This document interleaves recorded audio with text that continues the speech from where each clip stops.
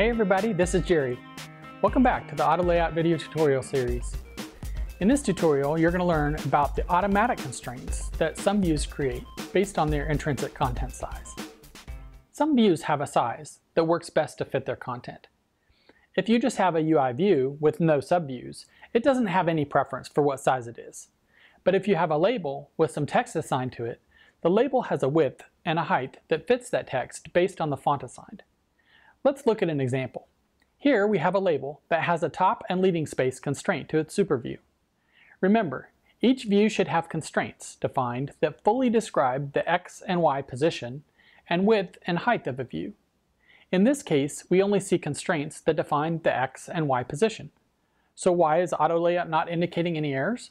Well, the intrinsic content size of this label defines the width and height based on the font and text of the label. That intrinsic content size, together with the constraints we have defined, do fully describe the layout of this view. But you should always consider the situation where the text is bigger than you expect, especially if your app supports dynamic type. Dynamic type is a feature that allows the user to specify the font size for text in your app. In our example, now the text is running off the edge of the screen. It's even worse if there's another view to the right of this label, and the text isn't just getting clipped, it's obscuring this button. We can define a horizontal spacing constraint between the label and the button, but Auto Layout still doesn't know what to do, as you can see by the red air lines.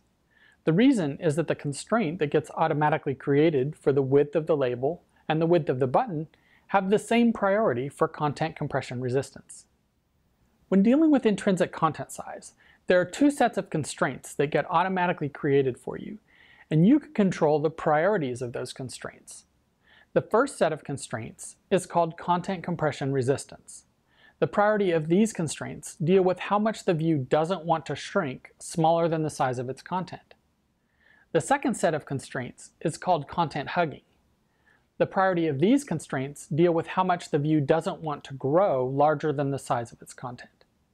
I say set of constraints because there are separate constraints and priorities for the horizontal and vertical directions if the view has an intrinsic width and height. Back to our example, the solution is to break the tie between the label and the button horizontal compression resistance. In this case, we would like our label to compress rather than the button. So we set the horizontal compression resistance priority to be lower than the number for the button.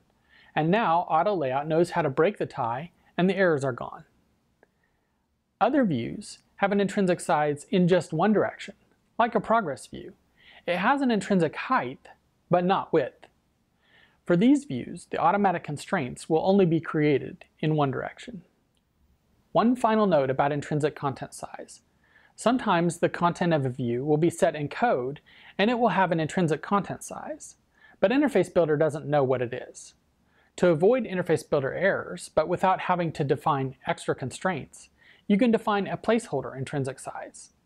As you can see from the text in Xcode, these values are only used at design time. You're still responsible for making sure the intrinsic size is set at runtime. Let's open up the project from our previous demo and take a closer look at some of these constraints. We changed the priority of the centering constraint to low.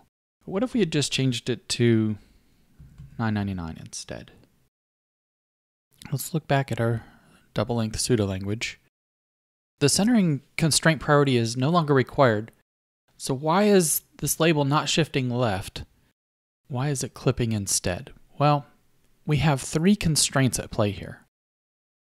If we look at the save button and these priorities that are defined down at the bottom and look at the content compression resistance priority in the horizontal direction, this is, has a priority of 750. And then the horizontal compression resistance of the label is also 750, but the centering constraint priority is 999. So both of those views, horizontal compression resistance priority is lower than our centering constraint. So the priority of the centering constraint is taking precedence over the content compression resistance of both of these views. And so they're both getting compressed the save button's getting compressed all the way down to, to zero, and the label's getting compressed and clipping its content If we change the compression resistance of the button to required, now the button is no longer getting compressed, but the centering constraint still has priority over the compression resistance of the label, so it's still getting compressed. If we change the compression resistance of the label also to required, now we see that they both have a higher priority than the centering constraint, and so the centering constraint is the one that gets broken. And that's exactly what we wanted.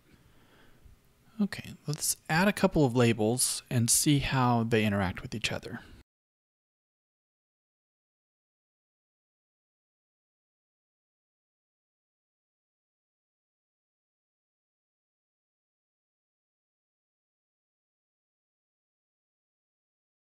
So let's say I have these two labels and I want the the first one to always say name and I want the second one to show a name. This will be set at runtime. I'm going to constrain the first one to the leading space and the vertical space. Then I'm going to constrain the second label to the first one, horizontal spacing and baseline. And I'm also going to constrain the second one to the trailing space to the super view. So I have valid constraints for both of these, but I'm seeing errors. Let's open up the document outline and see what errors I'm getting. This is telling me that my second label, horizontal compression resistance priority needs to be set and the hugging priority needs to be set, and the hugging priority of the name needs to be set. Now, these are both already set. So, what is the error panel here telling me? It's giving me suggestions based on the fact that these two labels have a tie for the priority of their compression resistance and their hugging priority. Let's take a look at those. The horizontal hugging priority of this label is 251 and its horizontal compression resistance is 750, but it's the same for this label. So auto layout is saying if I don't have enough space to show the content of both of these labels, I don't know which one to clip. And if I have more space than I need to show both of these labels, I don't know which one to grow. Let's fix that. The first label is the one that we don't want to clip, and so we're going to set its compression resistance priority higher. The second label is the one that we want to grow, and so we're going to set its content hugging priority lower. Once we do that, the ties are all broken, and auto layout knows which label to clip and which label to grow in both situations if we don't have enough space or if we have more space than we need. Let's take a look at how this behaves. Let's change the background color of this second label to make it easier to see. And let's show the preview, see how this behaves in different situations.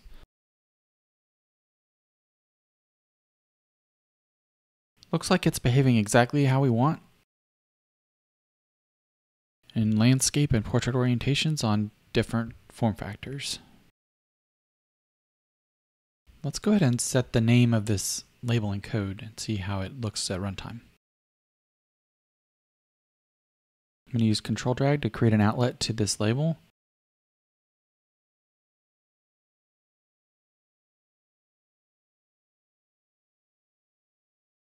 Then in view did load, of course, we're going to call super. But then we're going to set this name label to the longest name ever recorded, and I have this copied to my clipboard. So this Hubert Blaine Wolfischlagen Hasser is the longest name ever recorded, and we're going to use that to test our layout.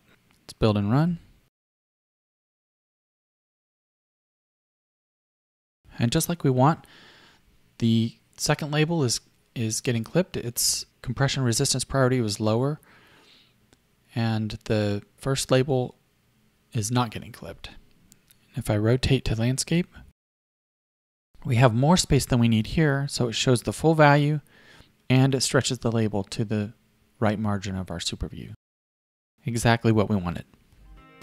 Well, that's it for this video tutorial. As always, we'd like to leave you with a challenge. For this challenge, you'll create this entertaining game about a book and see how to deal with the language of your app changing at runtime. All the details are in the challenge document. I hope you enjoyed this tutorial. Thanks for watching. We'll see you next time.